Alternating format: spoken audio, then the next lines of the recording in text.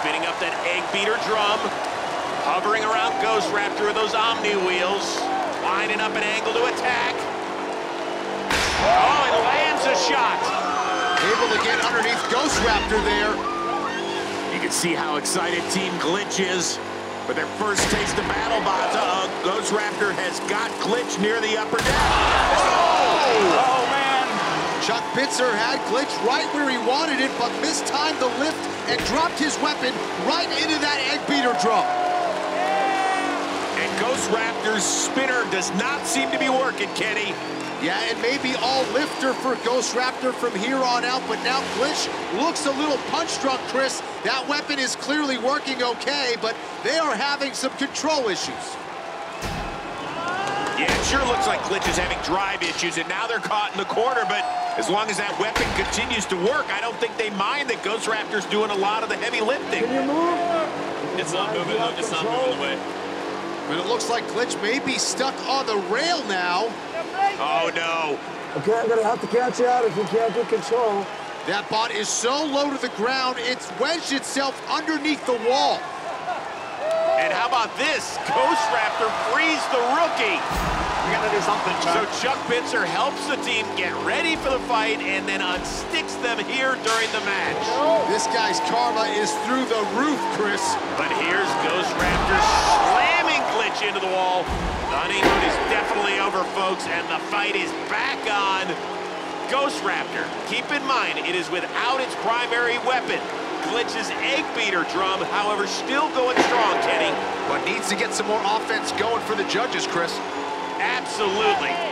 As for Ghost Raptor, the question here, can it find a way to take advantage of Glitch's lack of control here? Maybe get that lifter involved, maybe flip the rookie. Glitch is all over the place. Glitch having some steering issues out there and not sure those Omni wheels are working the way they want it. Okay, under a minute to go. And despite the loss of that primary weapon, Ghost Raptor still very much alive in this fight. It continues to engage. There's a good oh! shot again by Glitch. Ghost Raptor, though, has no problem working its way back over. Glitch looking like it's frozen solid now, though, Chris. The rookies may be in trouble. Ghost Raptor probing for signs of life. Uh-oh. Oh. Uh-oh. Oh, nice. Big hit. Best sequence in wow. oh, something to come apart on Ghost Raptor.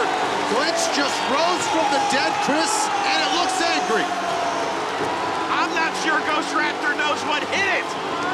Glitch starting to find its training wheels. Under 10 to go, Can Glitch lay down one more shot to impress the judges?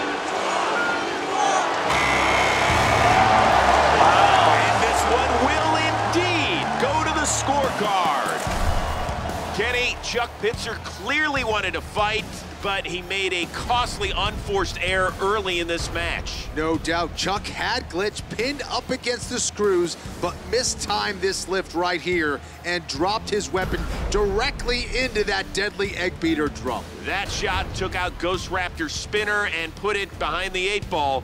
But from that point on, Glitch started, well, glitching. Yeah, Glitch was having major trouble with either its drive or its Omni wheels throughout this fight. Ghost Raptor even had to help unstick it at one point. That lack of control is going to cost it on the scorecards. But just when it looked like Glitch was ready to throw in the towel, it sprang to life, landed a huge shot, and gave the judges something to think about. Let's see how they break this one down. Here's Faruq. The results from the judges are in.